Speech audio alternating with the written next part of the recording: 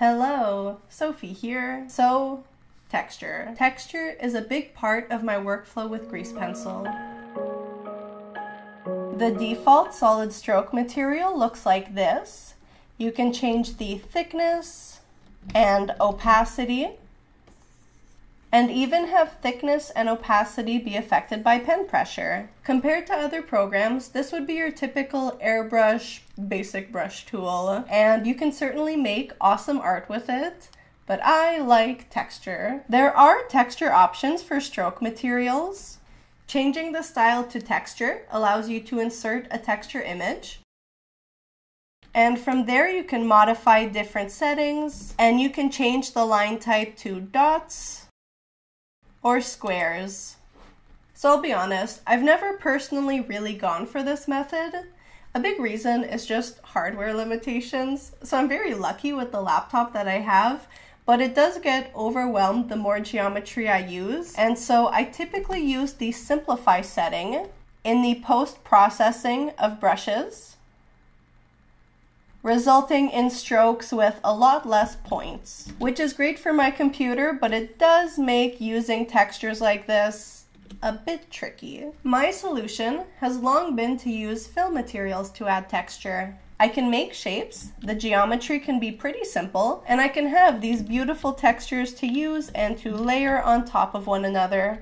But Despite having this be my workflow for the past over a year now, it's still not the most intuitive thing in the world to outline the shape into which you want to insert a texture. The most intuitive thing would be to draw a stroke and to have the beautiful fill textures that I love using to have them show up within those strokes. Enter the new stroke outline feature. And very quickly, if you're asking yourself, why use Blender if you have to have all these workarounds? I finally made a video answering that. You can check it out here. And while I've taken this break and while it's plug my stuff o'clock, this month on my Patreon, I have been focusing on this very feature. So you can follow along as I make these three one hour paintings in real time with full narration using this new feature, you can download blend files, get access to my process videos. Any support over there goes such a long way. A big thank you to my patrons, and now back to the video. So this feature can be accessed in Blender 3.4, the current version of Blender. How I've been using it. So I'll start with the default pen brush and I'll go back to my solid stroke material. Uh, I'll undo, I'll turn it back to just a regular solid stroke material, which is a line type and a solid style. So this can be found in the stroke dropdown in the post-processing, also in the active toolbar here or here while you're in draw mode. You can open up the brush settings and once again that's in stroke and post-processing. So I can check on the box for outline and to illustrate what this does, I'll set a solid stroke material the same material that I'm using as the material for the outline and I'll raise the thickness to 0.2. Now when I draw, it outlines the stroke with the material that we defined in here. And if I have a look at the geometry in edit mode, we can see that whereas the geometry of strokes usually exists in the center of the stroke, and even for very large strokes, the geometry is still just a center line that goes through them. So now the geometry exists around the stroke that we drew. This opens up new possibilities for using sculpt mode tools to modify these strokes. So now, in my opinion, the real magic happens when we swap out the solid stroke material and I will insert one of my materials that has a texture fill component to it. I'll have pen pressure affecting the radius of this stroke and I'm able to draw strokes that contain the textures that I so love using. These textures are now within strokes, the shapes of which I can modify. While I'm in edit mode, I can use the transform fill tool to move, rotate, and resize the textures within these strokes. I can also go into the stroke drop down in edit mode, assign material, and change which fill texture shows up within these strokes. Amazing, it's so cool. Not so amazing, however, is that outline, in my opinion.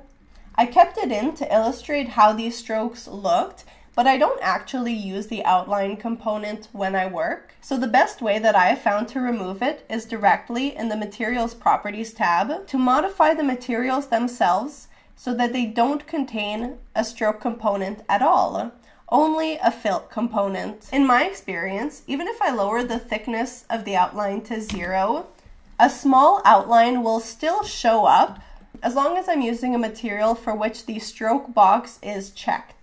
So I find it best to just turn it off and not have to worry about that.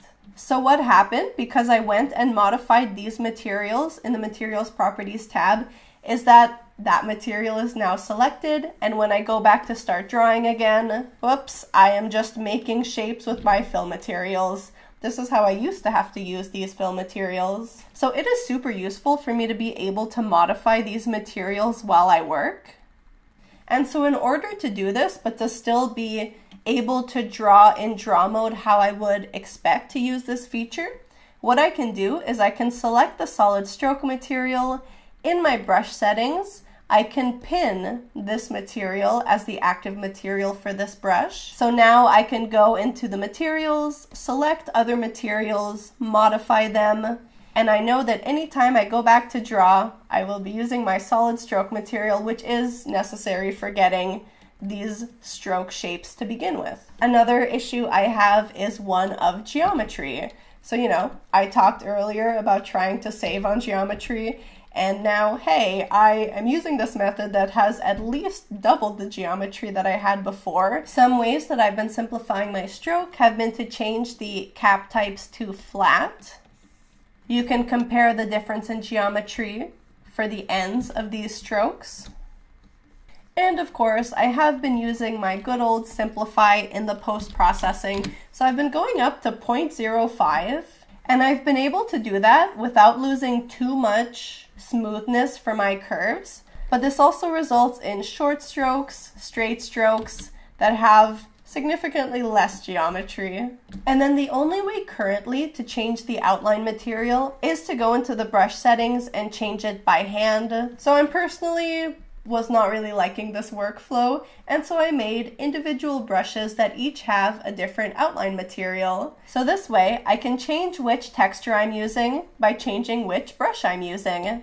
These brushes that I'm sharing now are actually part of a brush pack that I just put together, and I also have another video explaining more in depth about these brushes specifically, how I use them, how I set them up, so you can check that out as well. So you may have noticed as I'm testing out these brushes that they start off with the purple vertex color I'm using and then they turn a very sad gray. So as of the time of filming this video, this is how the feature works with Blender 3.4. And what I mean is that vertex colors, this color palette unfortunately does not work with this feature. The textures that show up are fully dependent on the base color of the textures and so, for the best experience using this feature, I recommend using at least Blender 3.5. It is currently in the alpha and can be accessed by going into the experimental build section of Blender. So this allows this new feature to work with vertex colors in a wonderful, wonderful way. And speaking of colors, I can also go into vertex paint mode and recolor these strokes using the draw tool or the replace tool. Oh, I can't get over it. This new feature, combined with Vertex colors, is, in my opinion, one of the most powerful features I have ever seen for making painterly art with grease pencil. And as a bonus benefit, I talked in my last video that what makes grease pencil so powerful for me is being able to select individual strokes in edit mode and modifying that specific stroke or selection of strokes using many different tools. So I can acknowledge that sometimes trying to find a specific stroke amidst hundreds is a bit like looking for a needle in a haystack. It can be kind of difficult, especially when the actual geometry of the stroke is hidden somewhere in the middle of a large blob of color. It has proved way easier for me to find the geometry of a stroke that I'm looking for based on the outline, the edge, the edges of that stroke I find that my art looks natural and painterly when zoomed out, but I mean, it's pretty obviously vector based when I zoom in, which is an optical illusion that that gets me every time. But this also makes finding the edges of strokes in edit mode pretty easy. And there you have it. I hope you give this new feature a try. I hope you enjoy using it. Oh my gosh, it has changed my workflow so much. I adore it. If you'd like to support me, Patreon and Gumroad are huge helps. And just a reminder that I have a new texture brush pack available on my Gumroad for this new feature. Thank you so much for watching. I really appreciate it. You can find me all over the internet at Sophie Jantak. I will see you very soon. Take care. Bye.